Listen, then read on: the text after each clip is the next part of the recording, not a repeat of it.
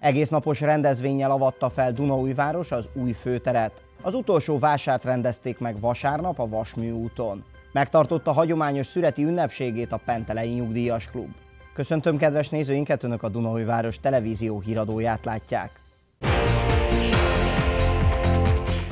Egész napos rendezvényel avatta fel Dunaújváros az új főteret szeptember 27-én. Az ünneplés egészen estig tartott, amelynek meghatározó pillanata volt például a Szent Mihály napi tűzgyújtás, vagy a Szökők útnál rendezett látványsó is.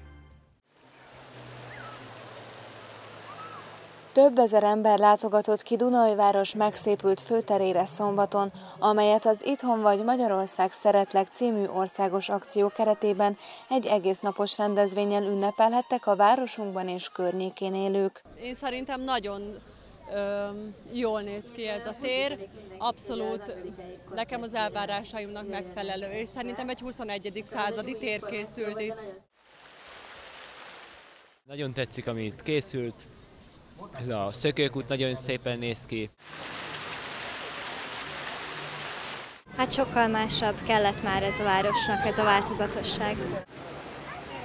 A rendezvényre kicsik és nagyok egyaránt nagy számmal érkeztek, hiszen minden korosztály megtalálhatta a számára legmegfelelőbb programot. Mint kiderült, ez hónapokig tartó előkészületet igényelt. Nagyon-nagyon sok munkával de sikerült újra. Én úgy érzem is, és látható a vendégek létszámán is, hogy egy sikeres rendezvényt megszervezzünk, és így méltóképpen átadhatjuk a Dunai városi lakosoknak az új főterünket. A rendezvényről nem hiányozhatott a kisvonat, az ugrálóvár és a játszóház sem, a színpadon pedig bemutatkozási lehetőséget kaptak városunk tehetséges fiataljai is. Érdemes a téren körülnézni. Ez a rengeteg ember, aki a mai napot, ezt az ünnepélyes avatót megtisztelte azzal, hogy kilátogatott, azt gondolom nem bánta meg, hisz városban a város iskolái, intézményei közreműködő segítséget nyújtottak abban, hogy egy színvonalas műsorral gazdagítsuk ezt a mai napot. A több hónapig tartó fejlesztési projektben a DVN ZRT is komoly szerepet vállalt, a kivitelezési időszakot a cég vezérigazgatója értékelte. Ezt nem mondom, hogy könnyű volt, nehéz volt, de végig élveztük azért a, a lakosság nagy részének a támogatását meg szeretnék köszönni, és bízunk benne, hogy mindenki megelégedés lesz a főtér. Ha bárkinek bármi észrevétele vagy bármi van, akkor ugye a DVN a honlapján vagy a telefonszámot is tudja mindenki nyugodtan jelentkezzenek, és próbálunk mindent megtenni a városlákokért, és mindenkinek köszönöm a türelmét, amit tanúsítottak a kivitelezés alatt. Legyenek önök is olyan büszkék, mint amilyen büszke vagyok én magam is a mai napon, hisz egy nagyon hosszú folyamat végén vagyunk, ugyanakkor egy még hosszabb folyamat elején. Cserna Gábor polgármester 14 órakor ünnepélyesen átadta városunk új főterét. Mint mondta, ezzel lezárult Dunai város eddigi legnagyobb fejlesztési projektje, amely mintegy 1,8 milliárd forint uniós pályázati összegből valósult meg. Végtelen büszke vagyok, mert Dunajás is felsorakozott azon megyégó városok közé, amelyek igazán ö, megértek már egy ö, a mai polgári viszonyok ö, közé illeszkedő, ö, rekonstruált ö, belvárosra. Ez a történet két éve indult, abszolút uniós forrásból, önkormányzati önrész nélkül. Ö, az időjárás, egyéb műszaki problémák ö, okozták azt, hogy volt némi párhetes csúszás ugye a projekt zárásaként, de azok az elemek, amelyeket ö, ígértünk, hogy a pályázat során megvalósulnak, azok maradéktalanul teljesültek. A beruházás több hektárnyi terület felújítását foglalta magába, az utolsó lépés pedig a főtér átadása volt, amelyet színes léggömbök elengedésével tettek még emlékezetesebbé.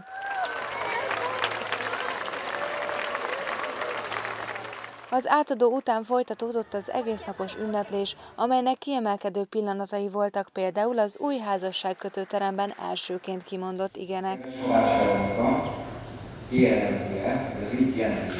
csonka Igen.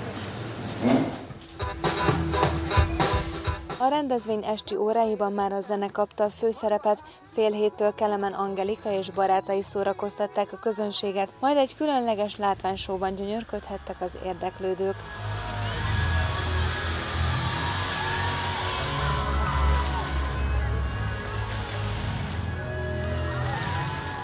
Ezt követte a Szent Mihály napi tűzgyújtás, a Digitál Együttes és Bruno Makari közös koncertje, majd végül Somlott Tamás zárt a Dunajváros egész napos főtéravató rendezvényét.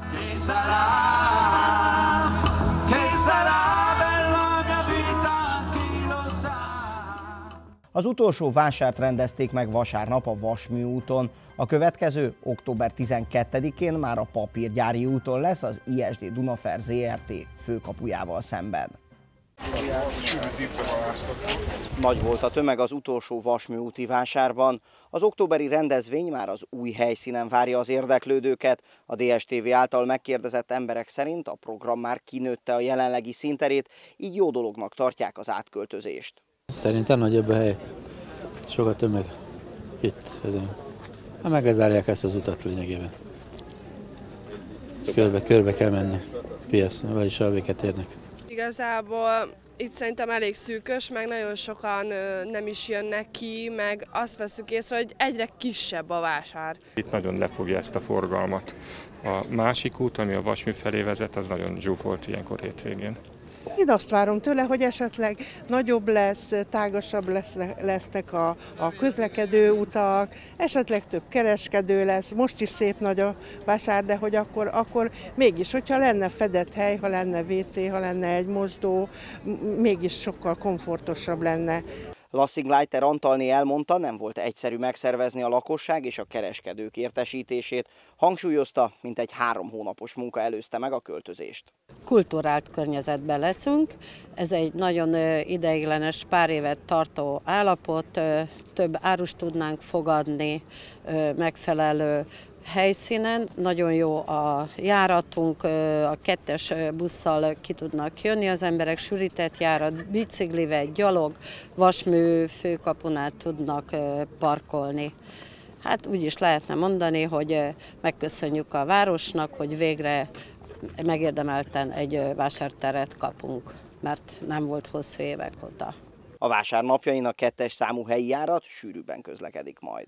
Ez az utolsó alkalom, hogy a vásárt itt a Vasmű úton rendezik. Legközelebb október 12-én már a papírgyári útra mehetnek az érdeklődők. A DSTV híradóját Morva Dávid tudósította. Kim Corbiziernek nyílt emlékkiállítás az Interciza Múzeum második emeletén. A tárlat festmények és grafikák mellett videós, zenés összeállításokat is tartalmaz, így átfogóan mutatja be a 27 évesen elhúnyt művész sokszínűségét. A Fészek címet viselő összeállítást október 22-ig tekinthetik meg az érdeklődők.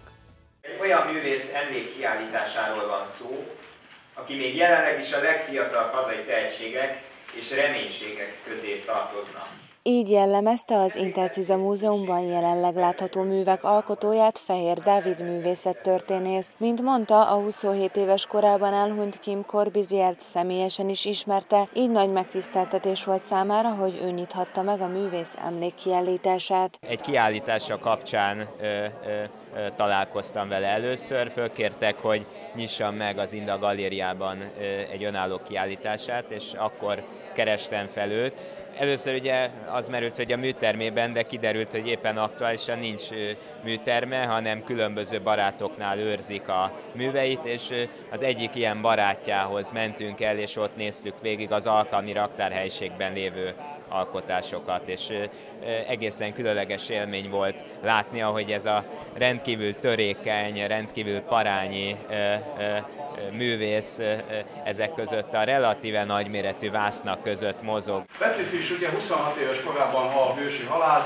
Farkas Lajos a múzeum igazgatója a 26 éves korában hősi halált halt Petőfi Sándorhoz hasonlította a belga származású, de városunkban alkotó Kim Corbiziert. Mint mondta, ez a két művész is bizonyítja azt, hogy egy rövidebb életút során is lehet maradandót alkotni. Teljesen más műfaj, de abból indultam ki, hogy Petőfi is 26 éves korában halt hősi halált, ugyanakkor Kim is nagyon fiatalon, tragikusan veszítette életét.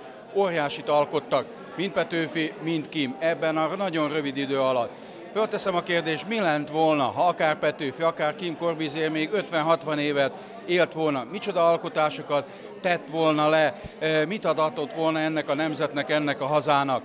Óriási tehetségekkel rendelkezünk mi itt Magyarországon, és tudom, hogy Kim, ha úgy nézzük, a származásilag nem magyar, de akkor is magyarnak érezzük, hisz a miénk itt nőtt föl, a szemünk láttára, Dunaújvárosi volt, ma innen ment el. Nagyon értékeljük a műveket. Az igazgató hozzátette, a csütörtökön nyílt tárlat a festmények és grafikák mellett videós zenés összeállításokat is tartalmaz, így átfogóan mutatja be Kim Corbizier sokszínű tehetségét. A Fészek címet viselő emlékkiállítást október 22-ig tekinthetik meg az érdeklődők az Intercize Múzeum második emeletén.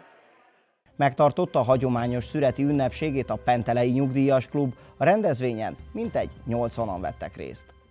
Egy nagyon régi, hagyományos ünneplés miatt jöttünk ma össze. Ez a szüret ünnepe. Elsőként a rendezvény szervezője Farkas András köszöntötte a megjelenteket, majd a klubtagjai egy rövid zenés táncos színdarabbal kedveskedtek a vendégeknek.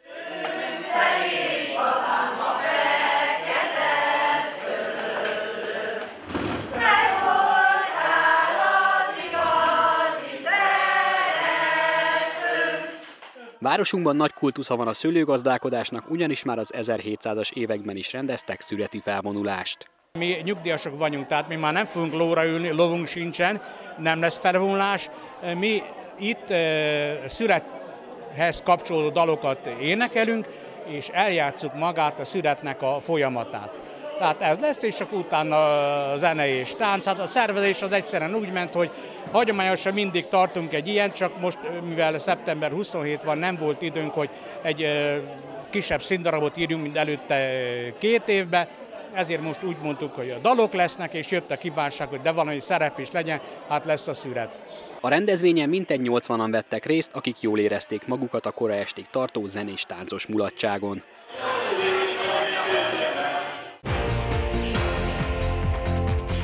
Hétfőn a hajnali párásság megszűnését követően napos, gyengén felhős, kellemesen őszi időre számíthatunk, marad a 20 fok körüli csúcshőmérséklet. Kérem tekintsék meg főbb híreinket még egyszer, röviden. Egész napos rendezvényel avatta fel Dunaújváros az új főteret. Az utolsó vásárt rendezték meg vasárnap a Vasmű úton. Megtartotta hagyományos szüreti ünnepségét a Pentelei Nyugdíjas Klub.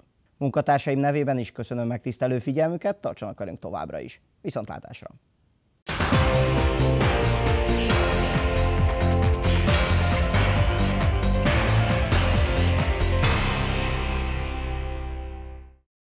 Készült a médiatanács támogatásával.